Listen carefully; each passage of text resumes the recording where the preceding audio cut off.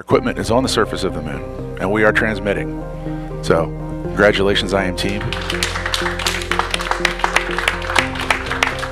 In this process, we do have a deployment of Eagle Cam attempting to take the third person images. I know this was a nail biter, but we are on the surface and we are transmitting.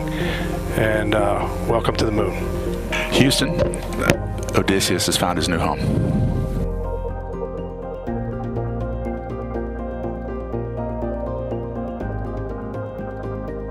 Intended to land right around 1724. That's 5:24 p.m. Central Time. But know that there is 1,000 meters call out from NDL that is coming from flight management.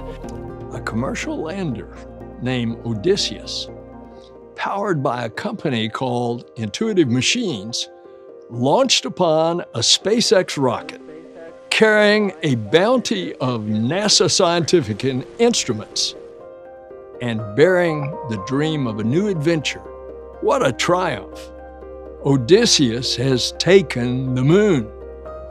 This feat is a giant leap forward for all of humanity.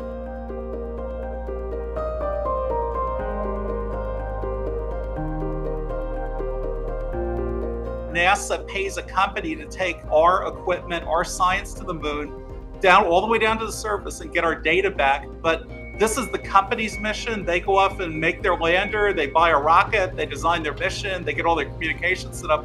We are just a paying cargo customer, really, just as if we were shipping a parcel to somebody's house.